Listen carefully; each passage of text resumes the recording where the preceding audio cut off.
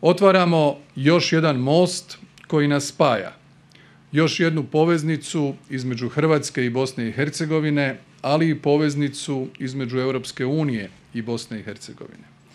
I meni je izrazito drago da je upravo na ovoj prigodi sa nama predsjednica Europske komisije jer njen dolazak ovdje uistinu naglašava simboliku spajanja.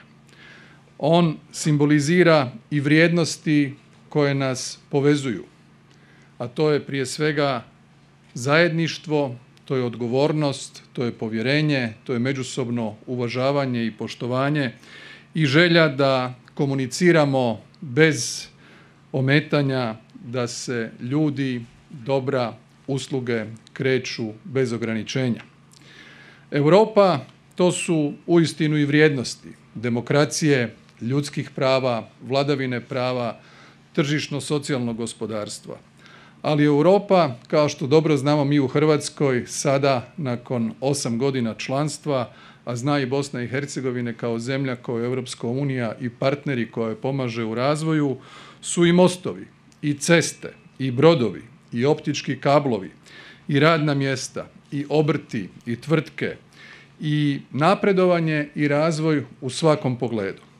Stoga danas moramo biti zadovoljni da ovaj projekt realiziran, realiziran zajedničkom suradnjom i uz financijsku potporu europskih institucija. On je zasigurno samo jedan od onih mostova koji će povezati Hrvatsku i Bosnu i Hercegovinu, već iduće godine bit će gotov i most kod Gradiške.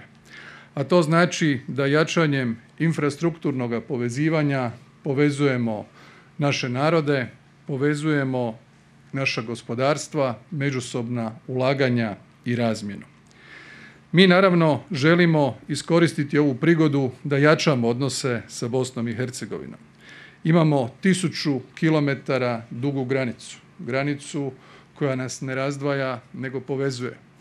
Rekao sam puno puta Hrvatska neće dizati nikakvu žicu prema Bosni i Hercegovini. To radimo s punim uvjerenjem jer znamo koliko je bitno da budemo povezani i koliko takve fizičke prepreke mogu negativno utjecati na odnose između naših naroda.